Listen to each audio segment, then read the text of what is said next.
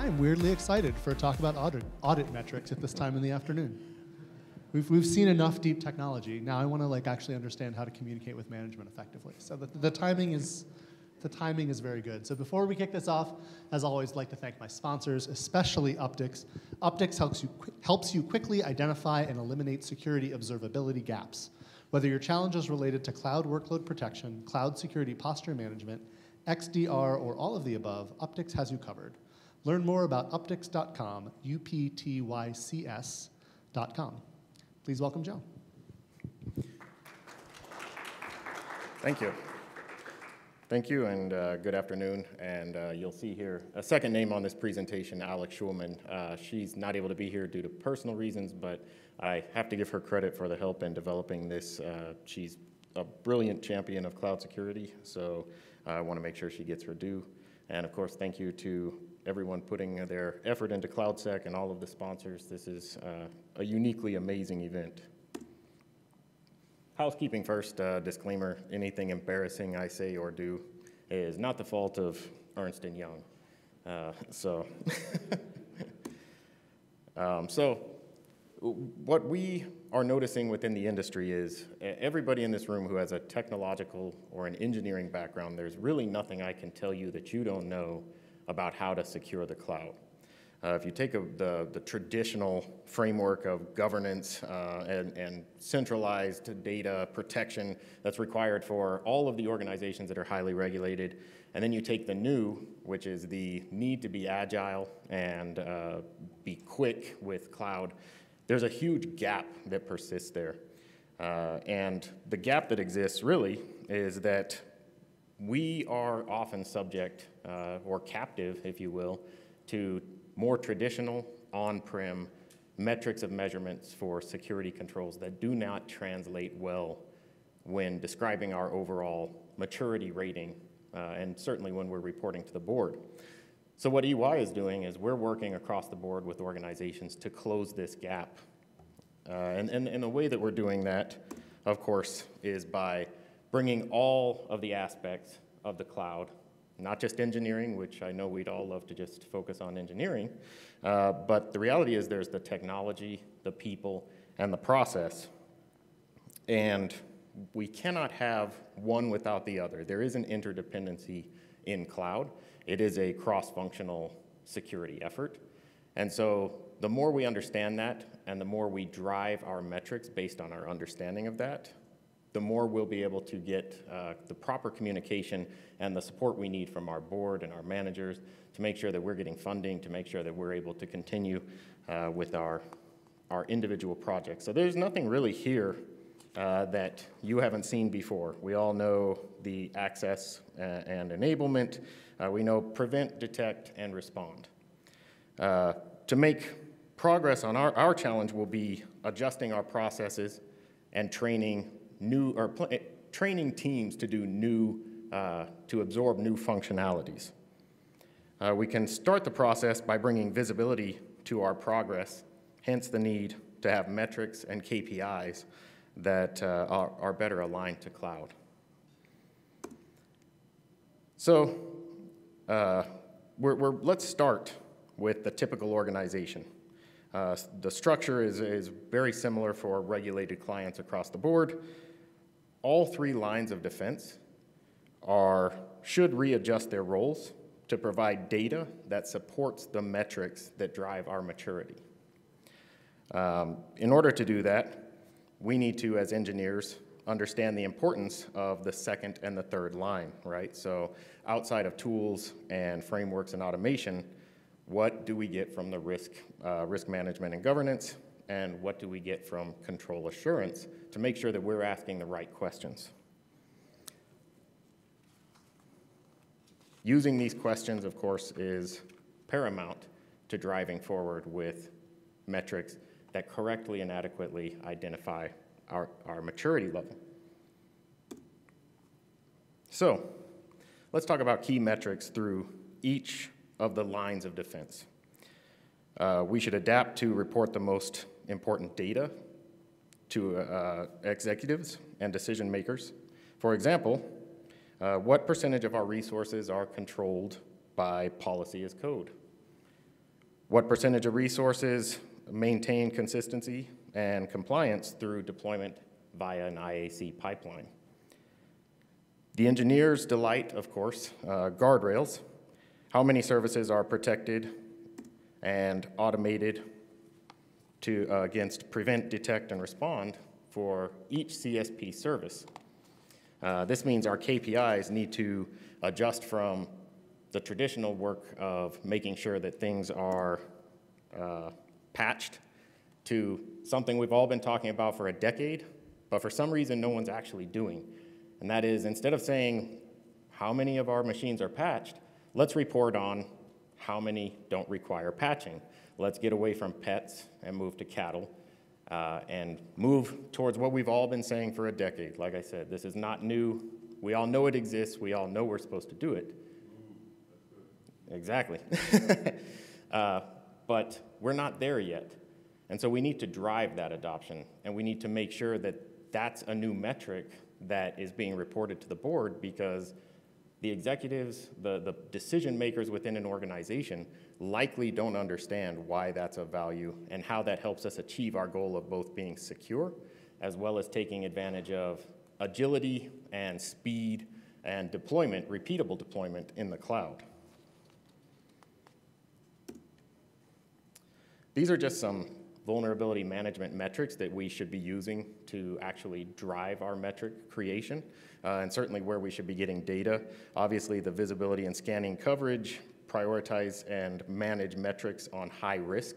Uh, you should have a dashboard where all of these things are being reported, and based on your internal uh, policies, you can assign your, your own priorities or use one of the uh, traditional frameworks uh, to do so. Obviously, scanning life cycle and gates, tagging and auto ticketing. Uh, tagging is something that's very new and often understated in the cloud if you don't understand the cloud. And certainly redeployment and speed of automation. So driving towards zero trust implementation uh, is another way that we advise our clients to move towards uh, proper metrics for measuring their security maturity. The main reason for this is number one, the industry is headed towards zero trust. And number two, this encourages all of our clients to apply multiple layers of security and controls at each level of each CSP service. So traditionally, we had uh, the, the traditional approach to this was we had IAM and we had uh, network segmentation it's not necessarily network and segment and IAM or network segmentation and identity and access management anymore. It's a much higher degree of security. And what we want to get people saying is, today I'm IAM and network, and zero trust implementation is an implementation of all controls across all, all services without the assumption of trust on any other domain. And the metric that we should measure ultimately is the blast radius uh, or the lack of, uh, of control over blast, blast radius as a result of any of these conditions. So these are some of the required controls. How many of these are you going to need data from? That's up to you and your organization, and that's really going to be up to what your, your policies and, and guidelines tell you. However, I can tell you that industry-wide, what we're seeing is that we need as much data as possible because it's not just about taking the data and taking the metrics and taking the percentages to the board and the decision makers. It's about making sure that they understand why, and they will ask why. So we need to have the data to back up why, because things have changed in the cloud. This is a conceptual zero trust architecture. Um, all of the controls are in place around the different levels, uh, different, different domains, and certainly the different layers of the environment. Uh, obviously, we put data at the center because when we're talking about zero trust, data is at the center. Everything else is just interacting with that data and therefore needs to have the proper controls and proper configurations to moderate access and secure the data. Uh, obviously, the, the other thing to think about here is that when we talk about assets in the cloud, what is the main asset that will always exist in the cloud? It's going to be your data because much of everything else in the cloud will be ephemeral. And so the one thing that is consistent will likely be your data.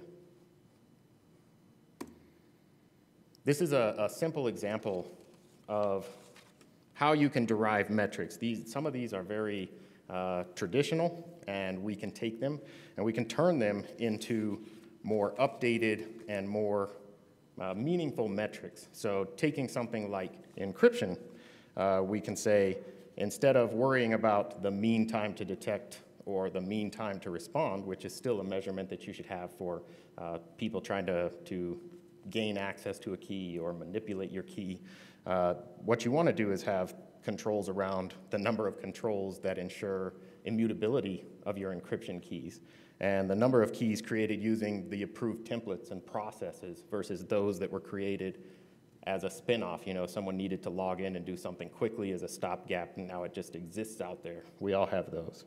Um, and certainly the number of keys that are auto-rotated.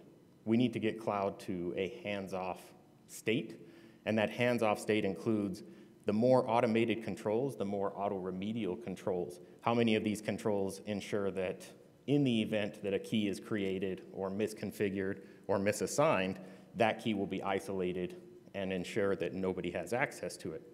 These are all new metrics that need to be designed and defined to adequately report to the board. Network is another one. We all, I, I was discussing network earlier. Um, network used to be the segmentation and the identity access management, and that's how we define zero trust. But zero trust can't simply be identity as a uh, contextual analysis and subnets, and, uh, and it, it, has to be an all-inclusive uh, approach to this. And so what we do is we say, how many of these VPCs are peered? How many of these VPCs are peered cross, uh, cross segmentation or cross project? Uh, how many of these machines can talk to each other uh, between individual VPCs or projects? And how many individual users have cross project or cross VPC access? And the way we do this is through all of the tools available to us, cloud native, all the third party, um, uh, obviously the asset management, being able to print out a list of identity and access management roles and who has access to that. Um, but this gives us an overall topology, and we can't really define what our blast radius is if we don't actually have that picture of what's talking to what. Additionally, we had a client that we recently did uh, some work for who had an internal policy that said absolutely no VPC peering, period. And so they had VPCs peered as approvals, but it was counting against their security maturity because they didn't have a process in place to ensure that the VPC approvals were not counting against them. These are approved peers, and you should have the, the right quantification, the right metrics to show that these are approved, not illegal peers. So what we did was we talked them through a tagging strategy where you can put a tag uh, where you get the approval, and that links to a database that then does uh, all the cross-referencing to make sure that it is a valid, uh, a valid connection. And then that tag includes the approval. And so if you had one that didn't have that tag, then it's obviously not a, an approved peer uh, or an approved connection point between VPCs. And that would allow you to then delineate between which were approved, which were not, how many were in violation, how many were not. Thus, it increased their security score. So by not understanding how these things are important and how to deliver these metrics and how to define these metrics, they were actually costing themselves points when actually reporting this information to their board and to their decision makers. So this is a really impor important point, excuse me, uh, that we need to make when we're talking to clients and redefining the way that we do things uh, in the cloud from an audit and security maturity perspective. This is just, again, samples. Um, a lot of this will be things that, that you're familiar with, um, SSO, federated access, but there's more that we need to think about in the cloud. How many of these controls were created through an IAC process or an approved process versus how many were, were created on the fly using the CLI? How many of these, uh, how many times have we stopped and attempted change to a role or a permission? Uh, how many times have we, over the last uh, several months, uh, seen changes to the, the time, the length of time that it takes to onboard or offboard an individual. These are all metrics that need to be measured in combination with things like remedial automation that then goes in and undoes any unsanctioned changes to permissions. This goes back to what we said earlier, a decade-long talk that we desperately need to stop having. Stop patching your cloud instances. Please, stop patching them.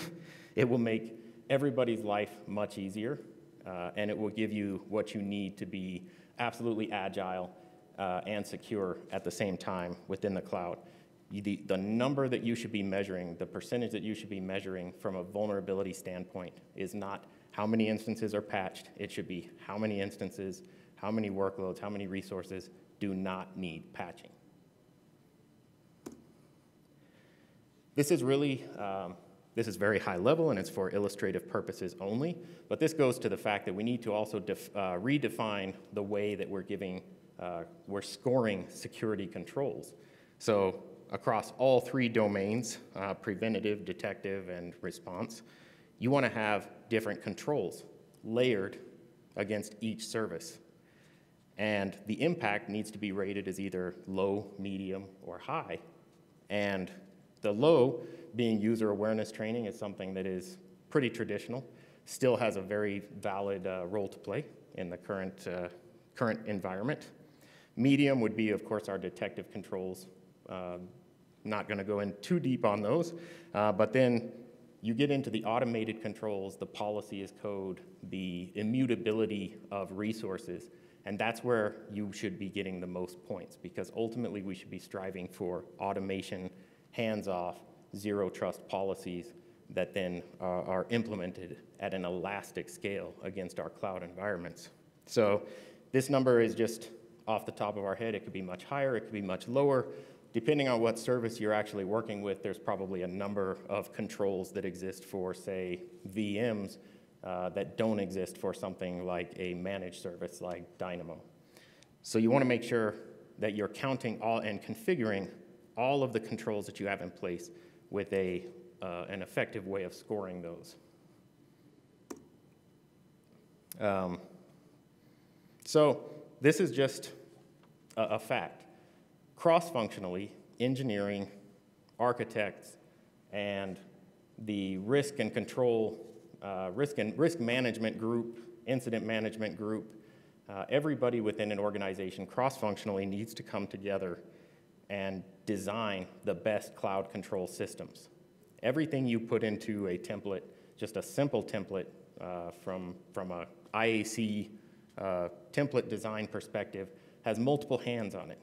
It has the encryption team, uh, it has the architecture team, it has a network team, it has the identity and access management team involved you cannot operate in silos. So those need to be defined and redefined to match what we're actually doing and what we're trying to do in cloud.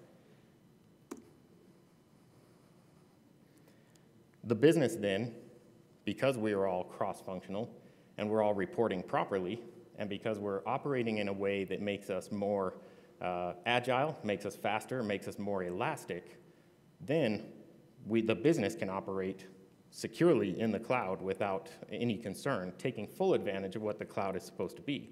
The cloud is supposed to be about agility, rapid expansion, and uh, security ultimately. Because even though it's secure, insecure to a certain degree by definition, we have the ability to make it secure. So now, next and beyond. The first thing is that everybody who's sitting here needs to be demanding of their organization that they shift towards a more secure, cloud adjusted, and sustainable process. Whether you're an engineer, whether you're an architect, whether you're in the, within the audit team itself, you need to be working within your organization to drive the adoption of a better measurement framework for your audit. Um, you need to invest in education.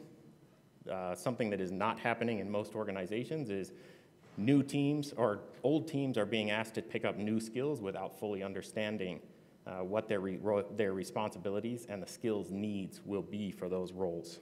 So ideas like policy as code, zero trust, those are lost on a lot of individuals who are trying to transition from what their old roles used to be to what their new roles used to be. Obviously, we want you to adopt a data-driven approach for cloud risk management. Data coming from all the security services, cloud native, third party, the people and the processes, that is often not uh, something that is categorically captured in these audit results. Uh, and we want you to, to consider adopting a zero trust as a risk management and audit philosophy. Zero trust, again, means application of security and controls at each layer of each cloud service. And then invest in long-term cloud controlling. Drive enablement, modernization, automation is going to be key. Advocate for a contemporary cloud architecture. Drive innovation and enterprise modernization towards more secure and sustainable processes. That means everything you do should be built now, looking forward with the idea that things are going to change and things are going to change rapidly in the cloud, and you're going to need to be agile enough and dynamic enough to adjust and adapt to that. And Ernst & Young thanks you. I thank you, and I am happy to take any questions. Thanks, Joe. Uh, a couple questions. So uh, one, there were probably about 45 to, to 60 metrics that you showed on the screen. Uh, so what size team, like how would you structure the, the team that builds and collects metrics like this? This is a, that's a pretty hefty program for, for, for, certainly for smaller organizations. It is, yeah, and I think a lot of it's going to be driven by what uh, industry you're in. Obviously, if you're in a very highly regulated industry, financial services, healthcare, you're probably going to be up there in uh, having more of those metrics to define. Uh, if you're more of a social media platform where you're not involved in something like, like the heavy regulation, you probably don't need that many. So a lot of that will be defined by that metric alone. What I would say is a lot of this needs to be captured as well by what we're seeing currently with third-party vendors, where they're integrating with cloud platforms, and they are better capable at keeping up with the changes to APIs, the availability of APIs, and making sure that they are capturing things out of the box that help us close those gaps uh, as part of their service.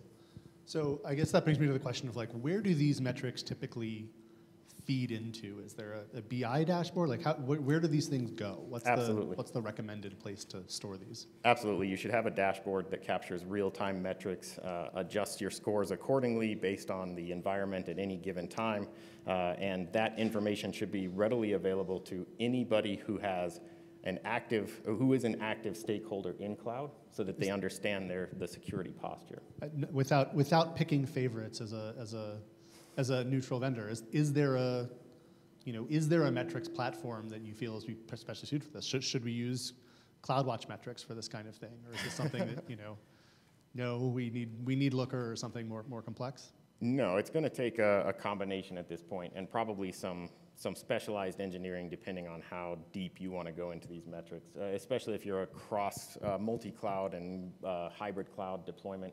You're absolutely going to need multiple tools and then be able to pull that data together into something. And so, you know, given that, how do people keep these systems, you know, updated? How do they, there's quantitative metrics about cloud security, uh, quality.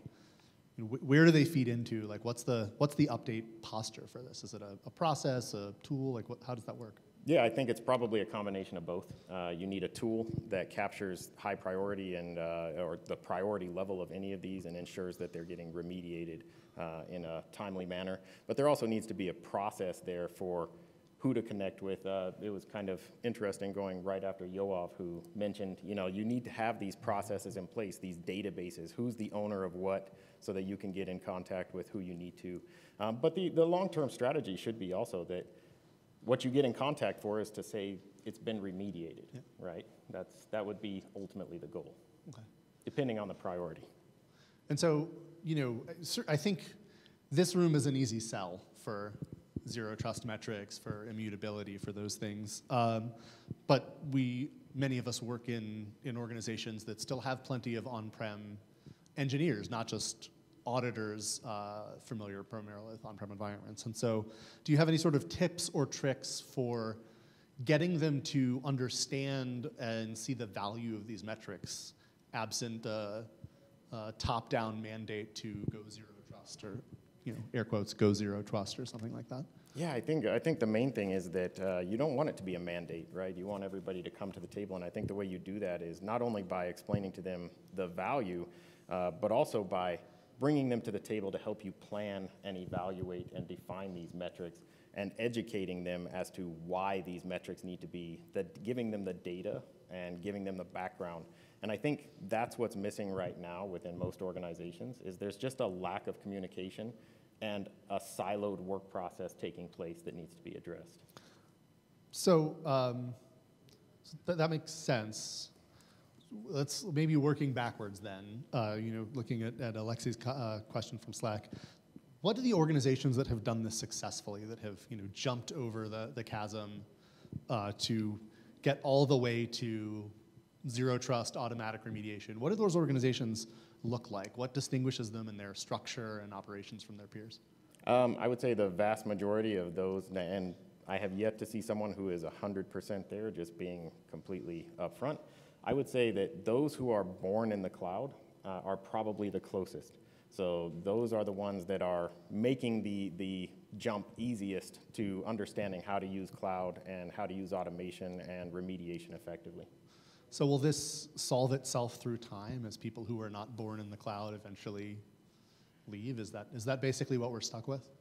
I think it solves itself through time, but I think it also solves itself through advocacy. I think every one of us has an obligation to go back and make sure that we as engineers are asking the right questions and bringing the right data so that we continue to get support for what we are doing within the organization. Makes sense. Um, and I guess uh, last question from John. Um, lots of KPIs shown in the slides. Can you recommend any sources for where we can source other examples of these KPIs? Publish Um, these slides. The, the, I know CISA, CISA published a zero trust maturity model. Like, wh- where do you where do you go to source out metrics like this? Yeah, definitely. Uh, a lot of it just comes from personal experience across the industry. Some of it comes from obviously established documentation from cloud vendors and third-party providers. But I'm happy to, to share these slides. And uh, uh, but reality is, a lot of this is going to come from experience, third-party providers, and cloud vendors. Cool. Anyone else out there? All right. Well, thank you very much, Joe. Thank you.